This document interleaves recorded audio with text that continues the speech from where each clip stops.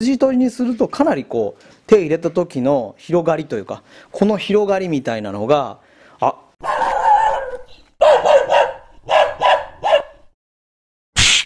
はい皆さんこんにちは。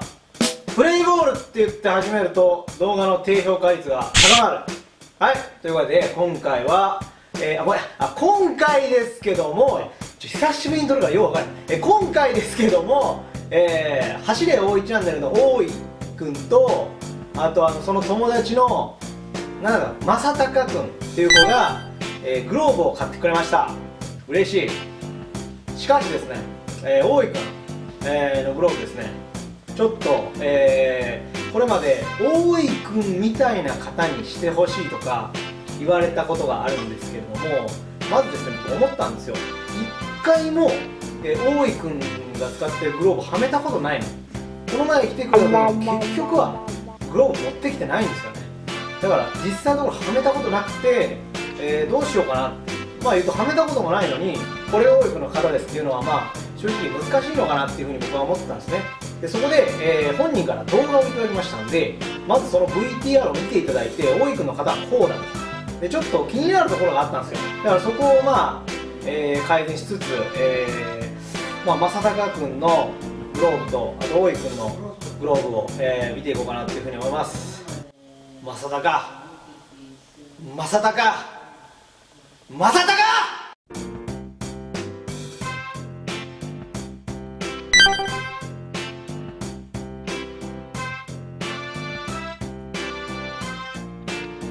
はいお待たせしました。でこちらはあの左側がね大井君のグローブなんですけど、まあ、さっきね動画で見て分かるように彼割と人差し指を押して浅くも使うというか割とこの広く使うモデルが好きみたいですね。この辺広くないとダメみたいな感じがしました。で ARD が少し大きそうな感じだったのでこの 23ms の方がいいんじゃないかなというふうに思ってます。で彼の方に関してちょっとこの辺がいつも硬そうな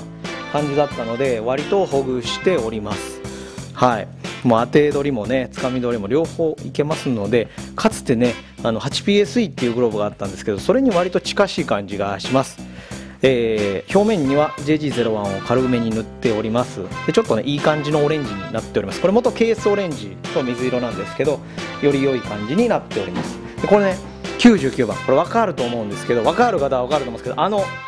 多分ですけど松坂選手をイメージしたんじゃないかなっていうふうに思います。多分ね寝言でそんなこと言ってたようなことは、えー、覚えてるんですけど確かそうだと思います。でここはどうしても開けろというふうに言われてまして 開けてます。はい。